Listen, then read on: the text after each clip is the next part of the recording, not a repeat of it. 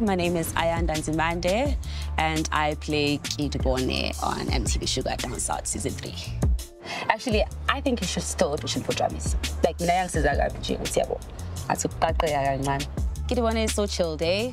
She's a lesbian, but she's grounded in identity. She knows who she is. She's been through a lot, but she doesn't let that identify her.